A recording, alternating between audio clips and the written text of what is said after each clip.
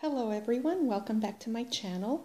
I am making a video today to talk about the coronavirus. I have not discussed it very much here because I have a really different perspective on what's going on and I am not panicking. I am for the most part uh, keeping a very level head about the whole situation and so I wanted to um, share some thoughts and maybe put some people's mind at ease about all this. Now, as you all know, I am a Christian, so I am about to get spiritual on you. And if that is too much for you to handle, now is the time to um, just turn this video off. Just move on. I am a Christian. I'm a woman of God. I believe in Scripture. I believe in God. I believe in Jesus and I'm not afraid to share my beliefs, my thoughts. And um, I believe that scripture is powerful. So that is what I mainly use to um, fight off some of the negative thoughts that I have regarding the virus and how it could affect my family. And so I am basically turning to the Word of God and believing that He will uh, take care of me and my family. Now, let me go back quite a ways. I know that most of us have watched the movie Moses about uh, Moses and the Isra- Israelites and the Pharaoh and the Egyptians and how um, God had Moses take his people out of Egypt, which were the Israelites. And so I'm sure everyone has watched that movie at some point. So I'm going to talk a little bit about the different plagues that were sent down from God to the Egyptian people to convince Pharaoh to let his people go. And I know that was one of the greatest lines, let my people go, uh, that Moses would speak to Pharaoh uh, in order to persuade him to let the Israelites leave Egypt. So I know that one of the plagues was God was going to um, kill the firstborn of both man and animal. And it was one of, I, I'm not sure in what order they were. I haven't looked it up in a while. So I'm not sure. I did take down some notes, but that I did not write down. I know that it, it's probably in the book of Exodus because that is when the um, Israelites left Egypt. So God decided to strike down every firstborn in the entire land. So, the way that He made it so that His people would not lose their children was He had them take a lamb and slaughter it, and they ate the meat, but the blood they put it on the doorposts. And I'm sure a lot of you already know this. It's it's known as Passover, and the reason why it's Passover is because the angel of death passed over the doors that had the blood on them. So this happened so that the children in those households would not be struck down. And God Himself said, When I pass through and I see that blood on the doorposts, I will not strike down that household.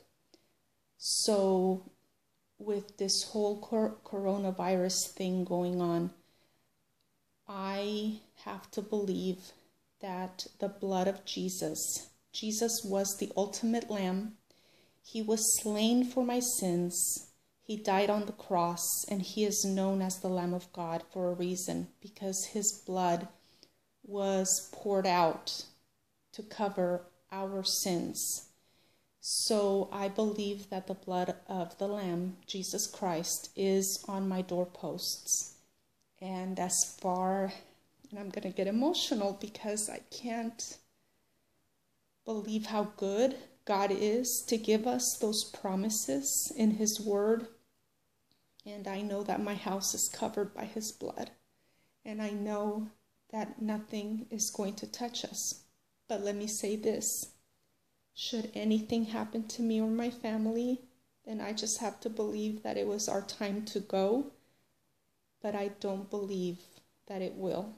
I believe that the blood of Jesus is over my entire home, and it's not by chance that my parents are now living with us. They are under His protection because they serve God, I serve God, and there's a scripture, I believe it's in Joshua, that says, Choose you this day whom you will serve, but as for me and my house, we will serve the Lord. And that is the scripture that I, one of the scriptures that I live by is this is my home and we serve the Lord and we love the Lord and he loves us. And I always tell my husband that I am his favorite, not my husband's favorite, but God's favorite. And he has always been so good to me. Always. You know, I, I really shouldn't be here. There there have been instances in my life where I have um, almost died and so I know that I am not going anywhere unless it's my time. And I believe the same for my husband, my children, my parents. I have a sister in law who is expecting a baby in May, and I have to believe that she will be safe and her baby will be safe. She's had several miscarriages, and this baby is due in May, so he's almost here. It's a boy, and I think his name is going to be Gabriel. So we're really excited about that. But this is just a very scary time to be having a baby. But I really believe that God is just, He's going to take care of all of us. And I don't like reading gloom and doom posts or watching videos where people are so uncertain about what is going to happen. I'm uncertain too, but when all is said and done, I know that God is going to take care of us. And there's a reason why, you know, um, I Psalm 23. Though I walk through the valley of the shadow of death, I will fear no evil. Your rod and your staff, they comfort me.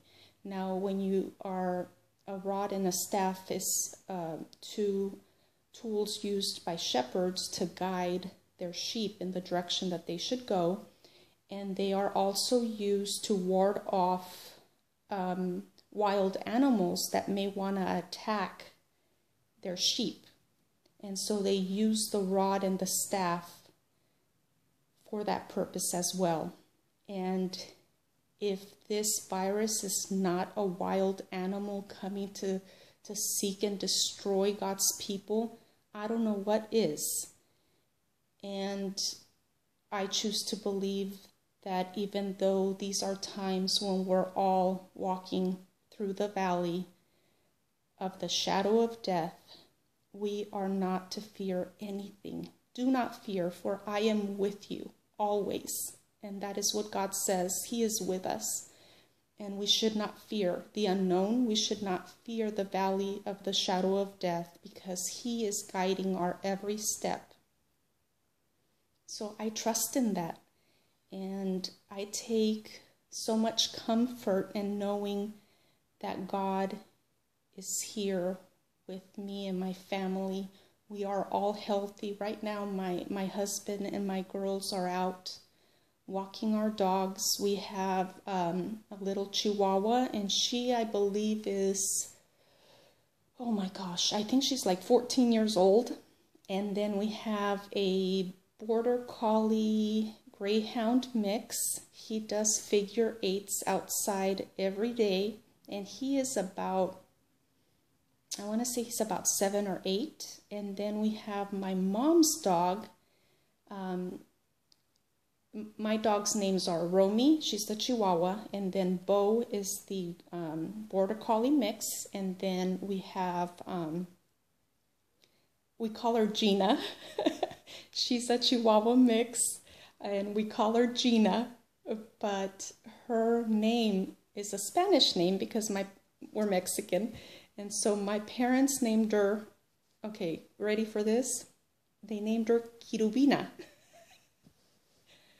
Don't try to even say that because I had a hard time. But Kirubina means cherubim in Spanish.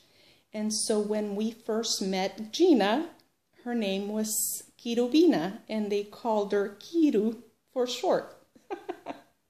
so Kiru, um, that's what she was named when, when she moved into the house with my parents. And then my husband renamed her, and he named her Gina. So now she's Gina.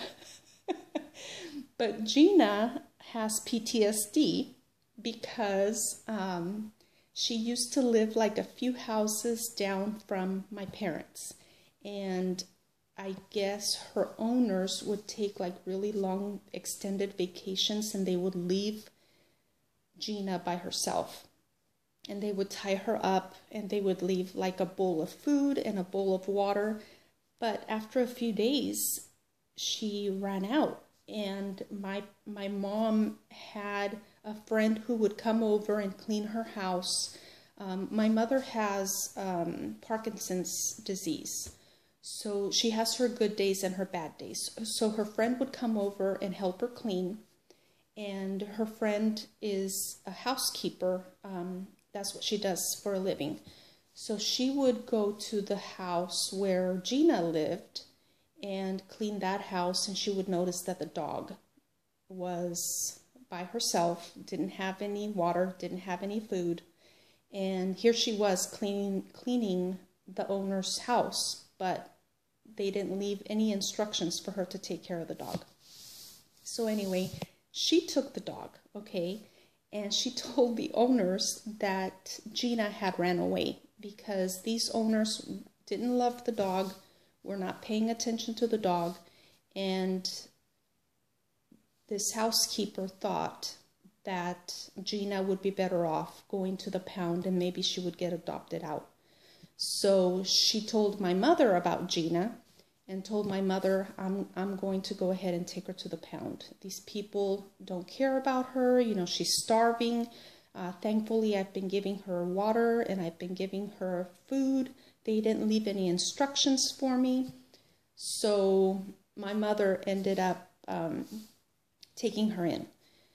So, to make a long story short, my husband and daughters are walking our three dogs right now. And um, Gina has PTSD because she had been tied up for so long that she cannot stand a leash. And so today, after six months, was the first time they actually took her out, and hopefully, they will have luck trying to walk her with a leash because she hates anything around her neck. She thinks she's being punished and she thinks she's being tied up, which she's not. She's being walked. You know, she's going to come back and she's going to be free to do whatever she wants outside, but she panics every time she gets anything around her neck. So they're out there trying. Anyway, so I said all that to say, you know, my family, we're all doing really well. We're all staying healthy. We all have what we need. Uh, my husband and I are working from home right now, and we're hoping that once all this is said and done, that the company we work for will decide to maybe make some of his, some of their employees permanent uh, working from home because that would be ideal. Yes, I will be losing my um, my nursery, what should have been my nursery uh, studio. But that's okay. If I can work from home, it is so convenient. You know, you get up, take a shower, brush your teeth, put, put on some clean clothes, walk around the corner, and there's the office. So it's just really convenient, and it would be amazing if they were allow, would allow us to um, work from home. So I know that these are uncertain times and I know that they can be scary, but if we just remember God's promises when people were dying left and right for whatever reason, whether it was something that God sent down as judgment and punishment, or if it's just because we live in a sinful world. This is a fallen world, and we happen to live in it. We have bodies that are prone to sickness and disease and death. We have to live in, in this body that someday will die.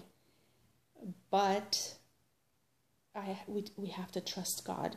Trust Him with everything that we have during this time and believe that everything will be okay. I have a, a brother who passed away. It's going to be um, seven years uh, in April that he died. And he was in the hospital for three months. And there was not one day that went by that I didn't pray he wouldn't die. And I prayed on my knees God, don't let him die. God, I know that you can raise the dead, you can heal the sick, you know, you can make the blind see and the deaf hear and the mute talk. But it was not his will to heal my brother.